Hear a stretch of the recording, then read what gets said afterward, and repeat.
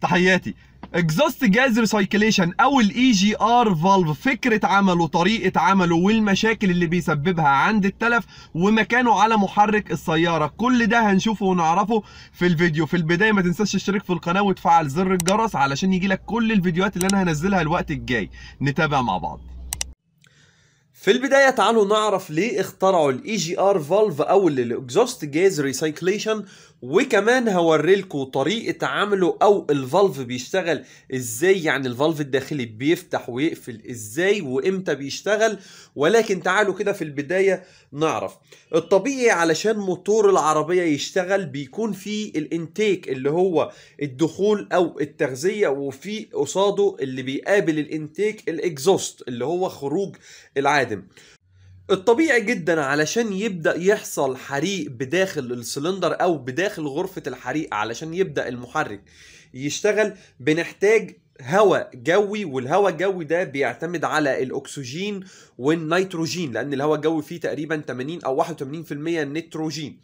فلما بيجي يحصل الحريق بداخل آه، الغرفة بيتم حرق الهواء الجوي بيطلع قصاد الأكسجين حرارة مرتفعة لأن بطبيعة الأكسجين هو غاز بيساعد على الاشتعال وطالما بيساعد على الاشتعال يبقى هيخرج منه حرارة عالية. وطبعا الحرارة العالية هي سبب تآكل المواتير أو سبب تلف المواتير على المدى البعيد. طيب ده بالنسبة للأكسجين اللي موجود في الهواء الجوي. طيب بالنسبة للنيتروجين النيتروجين لما بيتحرق ويجي يخرج من العوادم ده بيكون ملوثات بيكون أكاسيد النيتروجين بتتكون مع الحريق. وده طبعا بيضر البيئة جدا. والطبيعي ان بيكون في في الخليط بتاع ال intake الهواء آه، مع البنزين بيخرج طبعا قصاده قصاد البنزين بيخرج الكربون وغيره أو الأكسيد الكربون والحاجات دي كلها. طيب كل الشرح اللي أنت شرحته ده يا عم جون كلنا عارفينه وكلنا فاهمينه. إيه الجديد اللي عندك؟ أقول لك إيه الجديد. العلماء اخترعوا أو مصنعي السيارات اخترعوا ال EGR valve علشان حاجتين أو زي ما إحنا بنقول في مصر نضرب عصفورين بحجر. أول حاجة إحنا نعمل recirculation للغازات. بمعنى إحنا دلوقتي عندنا حاجتين مضايقنا. أكاسيد النيتروجين بتضر البيئة والأكسجين بيسخن الموتور. طيب ال EGR بقى هيعمل إيه هنا وهيعمل إيه هنا؟ أقول لك أنا. طبعا الجزء المكربن ده اللي بيكون راكب على ال exhaust أو على فرن الشكمان اللي هو خروج العادم. جميل. طيب والجزء ده الجزء ده اللي بيكون رايح لل intake manifold اللي هو بنبدأ نشفط منه الهواء. بمعنى أقول لك أنا وأنت ماشي بالعربية على المشي العادي بتاعك الطبيعي جدا بيبدأ ال EGR يفتح يسحب شوية عادم. طبعا هنا ده الشفط. وده هنا هوت بيكون المقابل للعادم. طبعا بيجي هنا هوت يروح المكان ده راكب على ال intake manifold أو على ال manifold يبدأ يسحب الغاز. طيب بيسحبه عن طريق إيه؟ عن طريق مكان الشكمان. طيب هو ما بيسحبش أكسجين صافي.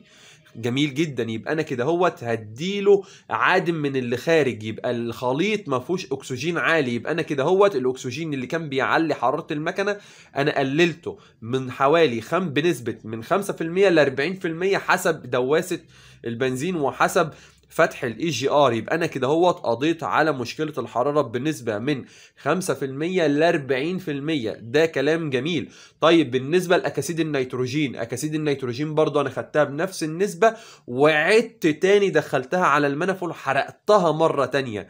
يبقى أنا الانبعاثات اللي كانت خارجة ضارة أنا كمان حرقتها مرة تانية. يبقى أنا ضربت عصفورين بحجر زي ما إحنا بنقول في مصر.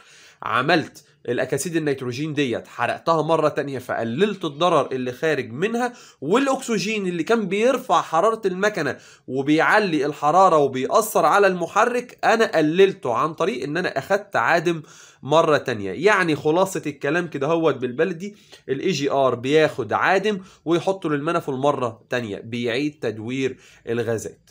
طيب ال EGR بيشتغل إزاي؟ طبعا في أنواع كتيرة لل EGR يعني مثلا ده EGR كهرباء بياخد الأمر من ال control لأن في بعض العربيات اللي بيكون فيها البوابة كهرباء وده الجديد دلوقتي في كل العربيات أو في معظم العربيات بتكون البوابة بتاعتها كهرباء بياخد الأمر بتاعه من ال control يفتح ال valve أو يقفله حسب ال control. طيب بالنسبة للعربيات مش هنقول القديمة قوي يعني متوسطه العمر.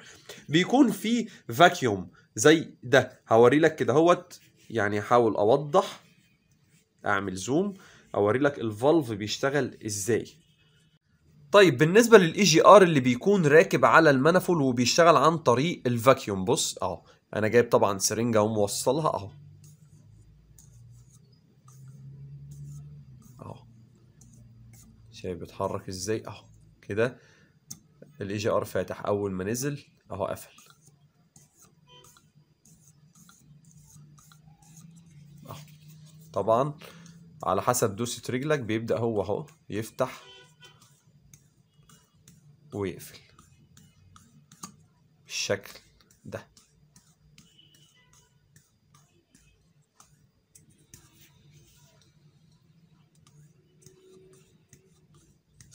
آه بالشكل ده. طيب هل ال EGR بيبقى شغال على كل السرعات؟ لا طول ما العربية شغالة على الصلانسيه فال EGR متوقف تماما عن العمل. طيب لو انت جيت تتسارع بالعربية تجري جامد برضو ال EGR هيتوقف عن العمل. ولكن في القيادة العادية بيبدأ ال EGR يبدأ يتحرك يفتح ويقفل علشان يظبط خروج العادم.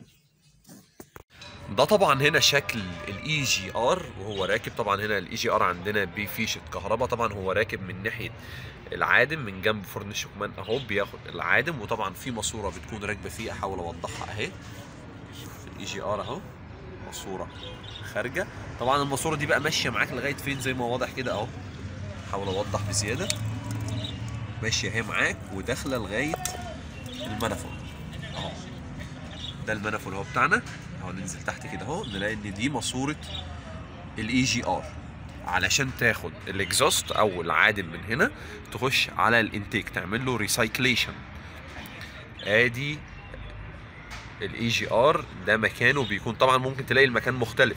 يعني ال EGR مثلا بس هو في الغالب لازم بيكون راكب هنا. طبعا في عربيات تانية بيكون راكب فوق على ال manifold مفيش مشكلة كلها تصاميم. ولكن في النهاية فكرة العمل واحدة إن هو بياخد العادم من الشكمان يدوره مرة تانية لل intake.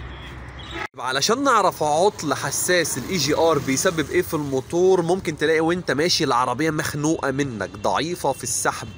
آه تيجي تلاقي مثلا العربية بتبطل معاك فجأة.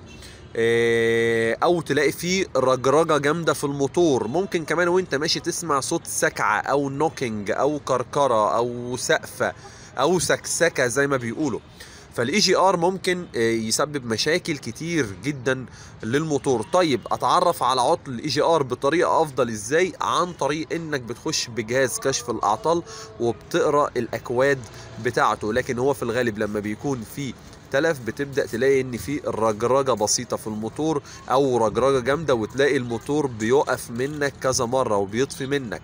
وتلاقي برضو ممكن لما بيكون في جوانات في بايظة أو منفسة ممكن تشم ريحة كمان عادم. ممكن تلاقي مشاكل كتير. ولكن أدق حاجة بجهاز كشف الأعطال هتقدر تحدد المشكلة ويطلع لك الكود. بالظبط.